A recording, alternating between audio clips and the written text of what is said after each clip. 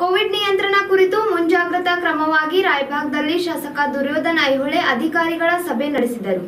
ಗಡಿ ಭಾಗದಲ್ಲಿ ಕೊರೋನಾ ಎರಡನೇ ಅಲೆ ಹಬ್ಬುತ್ತಿರುವ ಹಿನ್ನೆಲೆ ಕೋವಿಡ್ ನಿಯಂತ್ರಣದ ಕುರಿತು ಮುಂಜಾಗ್ರತಾ ಕ್ರಮವಾಗಿ ರಾಯಭಾಗದಲ್ಲಿ ಶಾಸಕ ದುರ್ಯೋಧನ್ ಐಹೊಳೆ ಅಧಿಕಾರಿಗಳ ಸಭೆ ನಡೆಸಿದರು.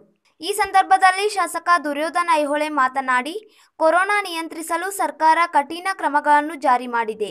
ಸಾರ್ವಜನಿಕರು ಕಡ್ಡಾಯವಾಗಿ ಮಾಸ್ಕ್ ಧರಿಸಬೇಕು, ಸಾಮಾಜಿಕ ಅಂತರ ಪಾಲಿಸಬೇಕು, ಇಲ್ಲದೆ ಹೋದರೆ ಅಂತವರ ಮೇಲೆ ಅಧಿಕಾರಿಗಳು ಕ್ರಮ ಕೈಗೊಳ್ಳಬೇಕು. ಮುಂಚಿತವಾಗಿ ಸೋಂಕು ತಗುಲದ ರೀತಿಯಲ್ಲಿ ಜನರಲ್ಲಿ ಜಾಗೃತಿ ಮೂಡಿಸುವ ಕಾರ್ಯ ಕೈಗೊಳ್ಳಬೇಕು ಎಂದರು.